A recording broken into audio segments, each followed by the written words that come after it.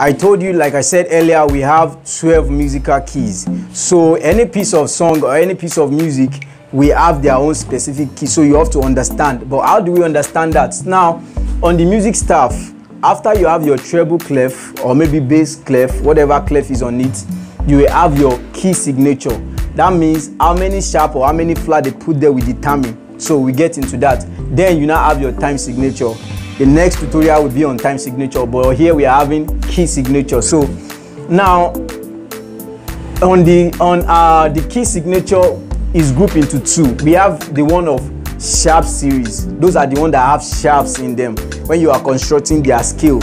And we have the one that they are flat series. Those are the one that have flat when you are constructing the scale. All right so let's start with the c major. Like we said earlier in the previous video on the C major scale there's no sharp there. It's just C D E F G A B and back to C. But for the G you remember when we check out the staff also G has one sharp and that sharp is on top of F.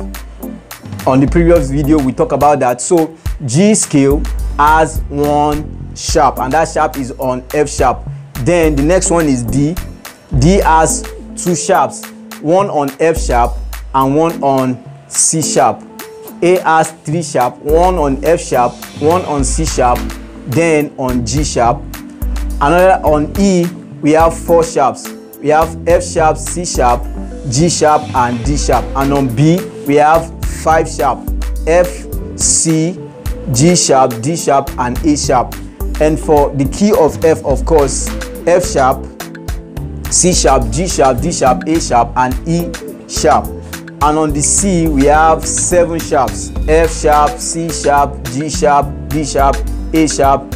So in the later video we'll be constructing each one of them on the musical piece so that you can have better understanding instead of all these sharp sharp sharp sharp everywhere.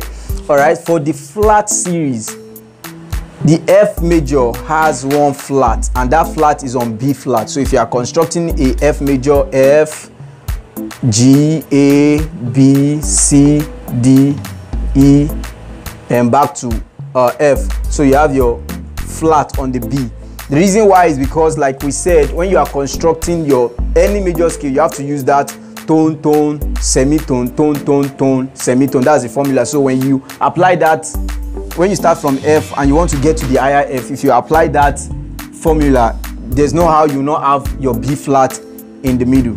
All right. So that's that for that. So B flat which is the next key has two flats one on b flat the the key you are playing and another one on the f making it f flat. And the key of e flat we have three flats one on b flat one on e flat and one on a flat. And the key of a it has four flats one on b flat e flat a flat and d flat.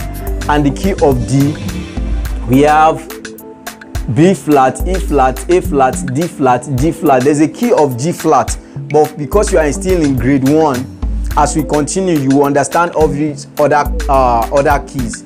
So um, we're going to have all the keys on the staff so that you can understand. If you are looking at a piece of music, how can you understand what is the key of the piece? By the time we arrange those uh, the sharp and the flat series on the staff you'll be able to have a quick understanding of which key you have on your piece as you'll be learning to sight read sight sing or sight play any of your instruments. So they are talking about key signature key signature series.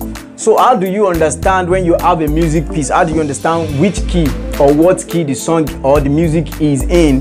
So for the c on your piece you will not have any sharp or any flat. That indicate that you are having a c major key. And here i put a minor. That's like the relative minor of c major. So if you have your c d e f g a b and c. So there's what we call the relative minor the relative major. So c is the major key but a is the minor. So we have c d that's when you when we get to where we understand the degree of music. So but every uh sixth the every sixth one two three four five six the sixth of the uh alphabet or the sixth of the pitch or the note of the scale is always the minor. So for the one of c major we have a minor. For the one of g we have e minor. We talk about that one later as we continue in the tutorial. So for the key of c major there is no sharp you remember for the g major i say there is one sharp and that sharp is located on the line of f. In the key of d major we have only two sharp. One is on f sharp and one is on the c sharp. The key the key of a major we have three. One is on a uh, f sharp on c sharp then on g sharp. All of the sharp they will be arranged the way just like this one now we have it on f sharp now when we continue we have this one on f sharp and we have this one on c sharp. Just like the series in a we have f sharp first c sharp then g sharp. As you are adding the new sharp that's how you keep extending the where you are where each of these sharps are located. So also for e major we have the first sharp on f the c the g and your d. For b major we have your f sharp your c sharp your g sharp your d and your a and for the key of f sharp you have f sharp c sharp g sharp d sharp. You have your a and we have your e. And for the key of c sharp you have your f sharp c sharp your g sharp. The um right here we have our d we have our a we have our e and then we have our b.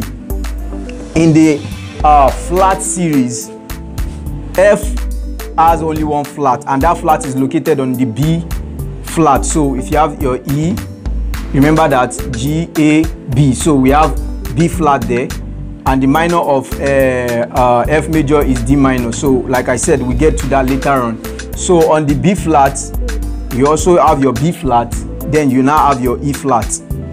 And on the e flat you have b flat e flat then you have a flat which is the next key. A flat we have our b flat our e flat our a flat then our d flat which is the next key. All right so that that. So sometimes when you have your piece you're kind of in case maybe you are you are seeing a piece like this now that is uh, having four sharps how do you understand?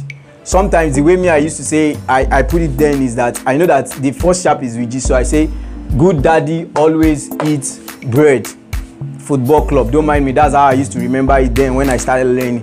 And i used for the flash i say facebook every afternoon doll that's how i used to understand it. You can give it any name you want so that you can quickly understand.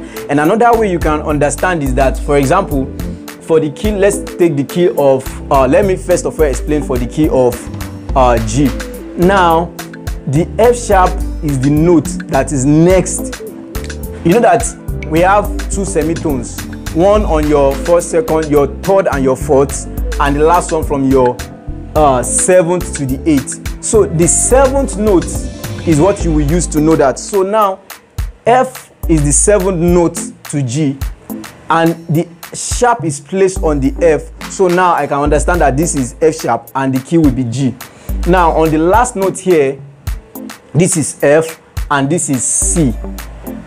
On the piano illustration that i give to you that time c then there's a sharp note in between c and d. So now having that we have c and there is sharp on on the uh, on the note here so that means the key will be d. Let me quickly draw the piano for you so that you can get what i'm saying. All right so let's say this is it now. Um yep. Oh sorry. Now i have to draw another one here. All right. So let's say this is our c this is our d okay then e will be here now. All right so this is c and this is d. Now i know that this is c sharp. And c after c sharp the next thing is d. So that makes me to understand that okay the key that we are talking about here will be d. For here the last alphabet here is what? Is g. So g sharp after g sharp the next one is a. So my key is a major. Now for the b flat for the flat series how you can get to understand that is that when you look at it the first key in the flat series is f major and the flat is on b. Now the next key is b flat.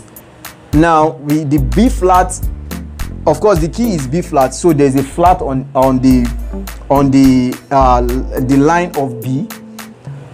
The next one we have here is E flat. So the E flat is like the fourth if you are calculating from your B, C, D, E.